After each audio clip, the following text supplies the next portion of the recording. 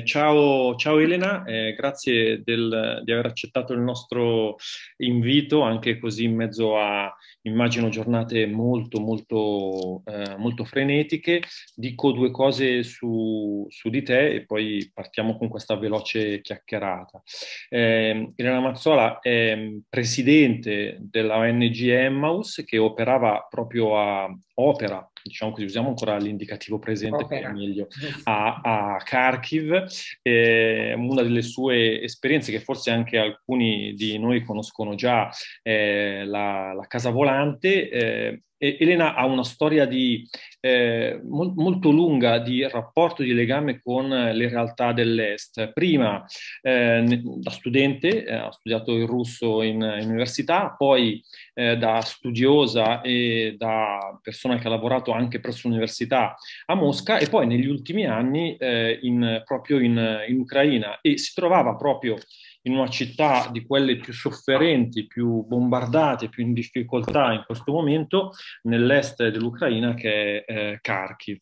Eh, qualche giorno prima della, dell'inizio dell'invasione eh, della, della, Russia eh, ha intuito eh, insieme con altre persone con cui guida l'esperienza eh, di Emus e poi in particolare della Casa Volante che le cose si stavano mettendo ma- male e quindi da racconti che adesso sintetizzo deciso di, hanno deciso di spostarsi già verso Leopoli e poi pochi giorni dopo che è iniziata la, la guerra hanno attraversato il confine con eh, alcune delle donne che hanno aiutato, con alcuni anche dei ragazzi, c'era anche un bambino molto piccolo, non con gli uomini che come sapete sono stati trattenuti in, uh, in Ucraina e adesso è eh, in Italia. E, a Elena vogliamo chiedere questo. Siamo a scuola e in tante nostre scuole abbiamo studenti di origine ucraina, stanno arrivando, è esperienza, mi chiamano in questi giorni tanti colleghi, ad esempio della provincia di Varese, stiamo lavorando anche su un progetto di accoglienza più generale, stanno arrivando anche tanti bambini piccoli eh, che eh, frequenteranno per almeno per i prossimi mesi le nostre scuole, per cui al di là delle questioni burocratiche ci sono delle domande che ci toccano da vicino. Eh, quello che ci chiediamo è, ma dopo i mesi di pandemia, di fronte agli orrori, perché veramente sono delle cose mostruose quello che stiamo vedendo, della guerra, sembra che sia difficile poter sostenere una certezza e una speranza che sono però essenziali per il lavoro dell'educare, cioè dell'introdurre positivamente nella realtà. Allora, eh, ti vogliamo chiedere, Elena, innanzitutto, che cosa vuol dire per te eh, ripartire ogni giorno in mezzo a questa situazione così difficile? Cosa vuol dire ripartire pensando anche di avere una responsabilità nei confronti di donne e di ragazzi che eh, ti sono affidati giorno per giorno, qui e rapporti che ti sono affidati ancora là. Grazie Elena di essere qui con noi. Ciao Paolo, buongiorno a tutti. Intanto grazie dell'introduzione perfetta, non è sempre così. E lo dico già rispondendo alla domanda perché mh, mm, io credo che la prima cosa che dobbiamo tutti fare è imparare a guardare, ascoltare, eh, stare molto attenti alla realtà eh, che parla in modo molto chiaro. E, ehm, e, noi abbiamo spesso questo problema di pensare già di sapere come sono le cose eh, e per cui di non riuscire a, a sentire veramente la voce dell'altro. Questo che cosa vuol dire per me, ad esempio, adesso? Mm, io sto ancora adesso eh, accogliendo pian piano amici che arrivano dopo essere stati, a differenza di me, settimane e settimane sotto le bombe persone che io conosco da tempo, amici, proprio amici, con cui siamo stati in contatto, in dialogo tutto questo periodo, ma persone che arrivano e è difficile riconoscerle. È difficile riconoscere perché è successo qualche cosa per cui eh, io sono davanti a una persona che non è quella che avevo in mente prima. Cioè, per, faccio un esempio, una mia amica è arrivata tre giorni fa e, in, vestita in una bellissima tuta rosa e io mi sono accorta che è in tutto questo mese in cui noi ogni tanto ci siamo viste via Skype, era sempre in quella tuta. E io le ho detto, ma scusa, ma andiamo a comprare qualcosa? E lei mi ha detto, non sono ancora pronta. Io eh, tutto questo tempo mi sono sentita protetta dentro come questo involucro, per cui la sera la lavavo e poi me la mettevo addosso. Queste sono persone sane di mente, ma che hanno subito un trauma tale eh, per cui eh, per entrare in rapporto no, e rendersi conto davvero di chi ho davanti, io devo avere la, l'umiltà come no, di rispettare i suoi tempi, di ascoltare, di chiedere di raccontare quando l'altro è pronto. Ehm, ecco, questa è una cosa che per me è molto importante imparare a e dare spazio, ascoltare. Io non so quando le persone che state, accogli- state accogliendo avranno il coraggio e il desiderio di dirvi chi sono e quello che hanno vissuto, ma sicuramente questa posizione di mettersi, come si dice biblicamente, in ginocchio, no? davanti, togliersi i sandali e mettersi in ginocchio davanti all'altro, eh, davanti al mistero che è l'altro e al mistero di quello che sta capitando, secondo me questa è adesso la posizione fondamentale. Ehm, la seconda cosa che volevo dire rispetto alla questione educativa è che anche rispetto a tutta la storia della pandemia, penso che con la pandemia sia venuta fuori in modo molto chiaro, eh, adesso eh, esplode in modo ancora più evidente, è questa. Io credo che per educare a una speranza, a una positività, non si possa che partire dalla realtà.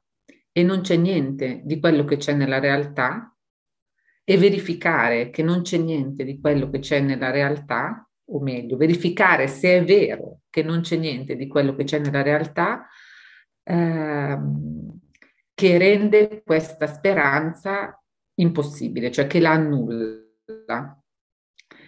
Nella realtà c'è il male, nella realtà c'è la morte. Eh, per me è molto evidente che per tanto tempo abbiamo la cultura dominante ha cercato come di togliere dalla realtà, per esempio, il dramma della morte. E forse eh, per anche i ragazzi, no? forse anche per i ragazzi questo aspetto eh, è stato distruttivo, per cui poi quando tu ti trovi a far fronte, no? ad affrontare un dato che però c'è, c'è, che l'uomo, eh, che la vita dell'uomo apparentemente si conclude con la morte, se tutta la cultura, se, tu, se gli adulti intorno non sanno cos'è la morte, hanno paura di affrontare la morte, questo distruggerà, forse anche come sta facendo, anche psicologicamente i ragazzi. Per me la speranza è un adulto che è capace di guardare in faccia un ragazzino vivendo tutto il dramma, il dolore, eh, le domande, ma le domande vere, il grido che uno ha dentro quando si trova davanti alla morte, ma di guardarlo con ehm, eh, di guardare il ragazzino dicendo ma io, io vedo qualcosa che è più forte della morte e te lo posso testimoniare anche dentro le lacrime, non come dire io so già la risposta, ma io, io vivo cercando questo qualcosa che risponde alla morte e posso dirti guarda, guarda, piango con te, ma dico l'ultima cosa da questo punto di vista perché siete insegnanti, presidi insegnanti, insomma, il vostro mondo è quello della scuola. Io mentre partivo, mentre mi stavo preparando, no, a gennaio, quando ho capito che la guerra molto probabilmente sarebbe scoppiata, stavo facendo il mio lavoro. Il mio lavoro è sempre tradurre e in particolare c'è questo progetto che noi facciamo con l'Associazione Italiana Il Mondo Parla, che si occupa di ermeneutica letteraria è partito con la professoressa Kasatkina, Dostoevsky, eh? poi io ho fatto un grande lavoro su Manzoni, adesso stiamo facendo molto Harry Potter. Ah, veramente? Certo, io sto facendo delle lezioni su Harry Potter eh, in varie... E mentre eh, appunto tra valigie, parto, non parto, salvo i ragazzi, come ci muoviamo, io stavo rileggendo per la sesta volta Harry Potter per preparare queste lezioni. Ed è stato pazzesco, perché noi dobbiamo chiederci, ma perché mh, mm, i rag- per i ragazzi, per tantissimi ragazzi, la saga di Harry Potter è così eh, importante, no? Perché la amano? Perché, perché sono così? Ma guardate che quello è un testo che parla della vita e della morte, di perché vale la pena vivere, di perché vale la pena morire, di se va bene vivere a tutti i costi oppure eh, c'è qualcosa per cui la morte non è il nemico ultimo perché c'è qualcosa di più per cui vale la pena anche lottare fino a... A me ha fatto impressione perché io non me ne sono resa conto subito mentre preparavo le lezioni, ma quel leggere così, studiare, preparare quelle lezioni su quel testo mi ha aiutata tantissimo a decidere come muovermi nel reale anche nelle scelte che io ho preso rispetto ai miei ragazzi e rispetto a tutto quello che ho fatto. E, ehm, non so, è per dire che de- dentro nel lavoro del, della scuola c'è una possibilità immensa di parlare della vita, della morte, del dolore e anche di accorgerci che i nostri ragazzi, è vero che non c'è più certezza, i ragazzi sentono, sentono che hanno bisogno di coraggio di guardare queste cose e sperano che ci sia una certezza. Penso che il problema sia più nostro che loro. E mi sembra, adesso l'hai già, l'hai già introdotto, c'è anche un tema di verità. Ti chiederei questo, perché il tema della verità e il tema della giustizia rischia di essere un crinale particolare su cui, come dire, il punto è eh, un dibattito argomentativo su che cosa è giusto e su che cosa è sbagliato. Eh, mi sembra che anche questo eh, sia un rischio che, che, spesso si corre, e cioè un rischio di un relativismo. Cioè io ti offro offro ai miei studenti, in virtù di un pluralismo, eh, qualsiasi posizione e poi dopo valuta tu che cosa è giusto e che cosa è sbagliato. Al netto del fatto che chiaramente la posizione di dire questo è giusto e questo è sbagliato è una posizione dell'io personale e uno deve avere degli strumenti. Però nello stesso tempo introdurre quel relativismo alla realtà non è introdurre un giudizio. Allora, ecco, magari su questo se, se, se, ci puoi aiutare per quello che stai capendo, mi sembra molto importante sulla tua pelle in queste settimane, te ne sono grato. Io adesso sono in un posto bellissimo, sono a Novazza, in montagna.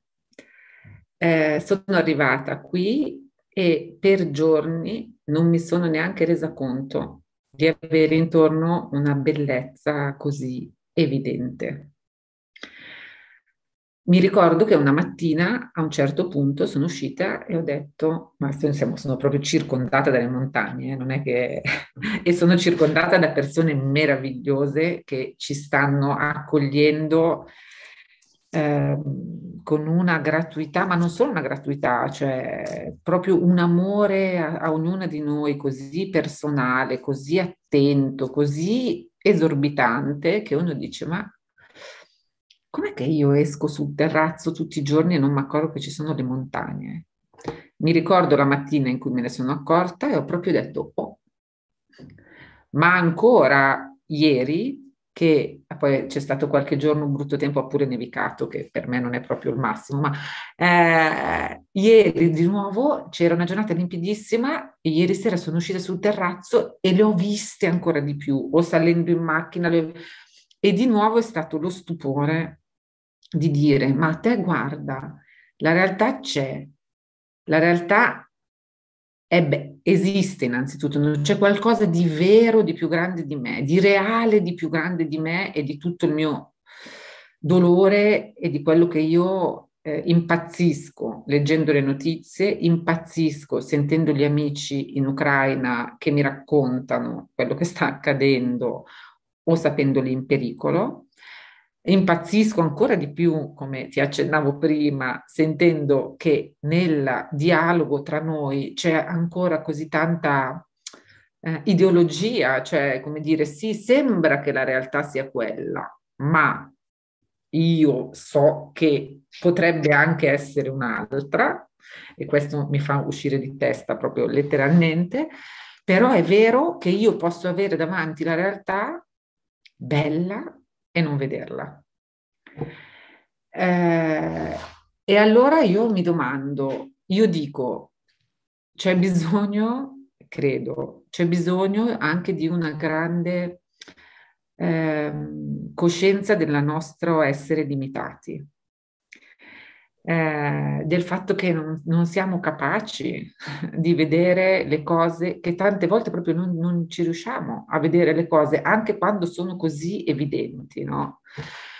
E, ehm, e questo lo dico perché io penso che rispetto a tutta la questione della verità, della giustizia, eh, della libertà, eh, che possono diventare, tu dicevi, no, di un, un crinale sottile e pericoloso, io mi accorgo di quanto può diventare violenza qualsiasi dialogo tra noi su questi temi, no? Anche di quanto tutto può diventare subito eh, tentativo di affermazione di sé, di quello che io vedo che è giusto, quello che io, no, di quello che io ritengo essere vero, giusto, di quello che io ritengo essere la libertà, no, si può, si può dire fare di tutto, ma c'è una cosa che è radicalmente diversa ed è, quel, ed è il fatto da tutto il resto, ed è il fatto che il mio cuore, di che cosa ha bisogno il mio cuore? la, che il mio cuore si accorge quando c'è qualcosa di assolutamente corrispondente, corrispondente anche al fatto che io non riesco a tenere un certo livello, non ci riesco, non ci riesco neanche davanti alle montagne, però, però accade un dialogo, uno che viene, per esempio qua c'è un'amica che io prima conoscevo su Facebook e lei a volte mi dice delle cose, proprio mi guarda e mi dice, guarda che bella questa giornata che ci è stata data. E io che ero tutta presa dal mio dolore o da... Eh, alzo gli occhi no, e guardo. Ecco, per me eh, questo rimettere tanto gli occhi sull'umano, no, sull'umano, per questo prima dicevo, queste persone che arrivano ci sono, ci sono, bisogna guardarsi, no? Questi ragazzi con cui voi entrate in rapporto quando entrate in classe, i colleghi, un, un miliardo di cose, ma proprio l'umano, l'umano, il cuore, perché, eh, perché poi il resto, pian piano, nonostante tutti i nostri limiti, da qualche parte entra sempre, ma non siamo noi a tenere in piedi tutto quello che dicevo prima sul lavoro che noi facciamo, abbiamo imparato a fare con la Casacchina di, di mm, lettura, no? che è questo suo metodo di lettura da soggetto a soggetto, per cui tutto è vivo, il testo è vivo, il testo parla, no? E per cui la posizione vera del ricercatore e quindi anche dell'educatore è innanzitutto una umiltà davanti al soggetto dell'altro, no? Pensa cosa vuol dire per gli insegnanti che normalmente entrano in classe davanti ai ragazzi ci, ci sono gli insegnanti, la materia, i ragazzi e l'insegnante, eh, io sono sopra. Io sono quello che deve, no?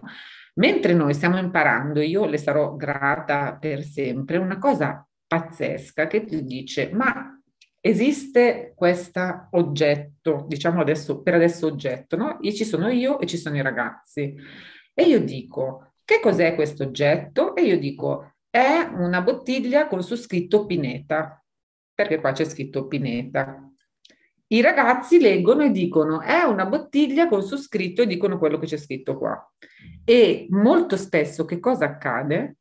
Accade che io dico, ma no, ma tu non capisci niente, c'è scritto Pineta. E l'altro dice, no, ma sei tu che non capisci, ma cosa sei, cieco? C'è scritto un'altra cosa. E che la verità abbia a che fare con una totalità che è invisibile, non si può letteralmente vedere se io non ammetto il punto di vista dell'altro, se io non ammetto che quello che vede l'altro, io non lo posso vedere dal mio punto di vista, letteralmente, fisicamente, e quindi che l'altro per me è una possibilità di arricchimento della mia visione della realtà, della mia visione della verità totale, cioè proprio io senza di te non potrei vedere qualcosa. Ecco, queste per me sono... È bello, eh? Eh sì, è bello. Sì, mm. Bellissimo. Eh, grazie, gra- eh, grazie mille Elena. Eh, senti, ti chiedo soltanto una cosa telegrafica, altro, un altro minuto. C'è qualcosa che da, da casa, da, da, dall'Italia, possiamo fare per, per, per, te, per l'esperienza di Emmaus, per l'esperienza di chi adesso è eh, in Ucraina? Hai qualcosa, come dire, anche da suggerire a, a, noi che adesso facciamo questi tre giorni di, di, convegno e poi torniamo ognuno nelle nostre cento scuole che dirigiamo che, o in cui lavoriamo? Partire dal cuore nel senso più... Ehm non riesco a dirlo bene. Lo dico con un esempio. No, perché adesso ho sentito un po' di discorsi così, no? Come dire, dobbiamo capire chi sono gli ucraini per accoglierli in modo giusto. Invece a me è capitato quasi di botto, proprio distinto, no? Di, un po' per come sono stata accolta io, un po' per uh, probabilmente per qualcosa che avevo già io chiaro nel cuore, di accorgermi che mh, mm, c'è, c'è una, un bisogno, che non è solo il bisogno di avere un, una casa, di avere dei vestiti, di avere del cibo, no?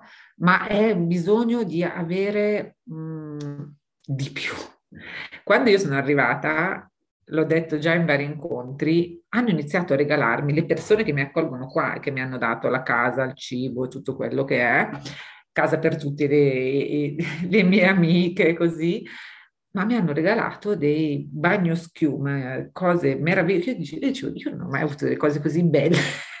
Dico, no, perché questi che già ci stanno dando tutto, ci danno cose così belle?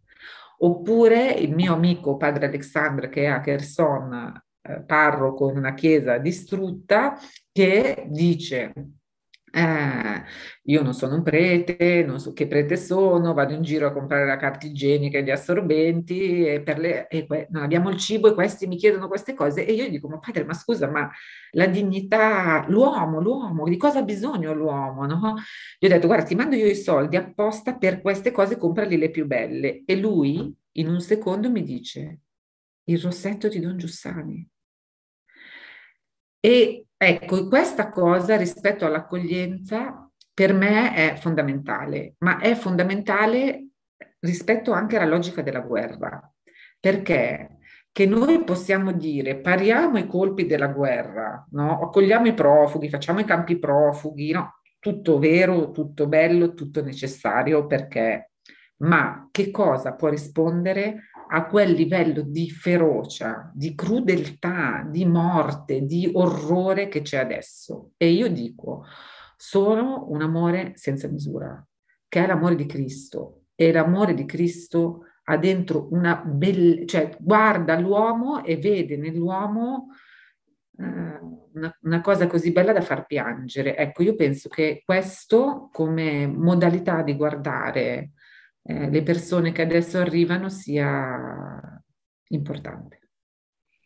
Grazie, grazie, grazie davvero Elena per il tempo che ci hai dedicato e grazie perché ci hai aiutato a, cioè ci hai dato delle ipotesi, degli strumenti per poter stare di fronte in, in questi giorni a quello che ci capita, ma innanzitutto ricordandoci che la prima cosa è proprio questa, stare di fronte a quello che capita senza mettere davanti un'idea, un'ideologia di fronte alle persone e alle cose e a quello che succede.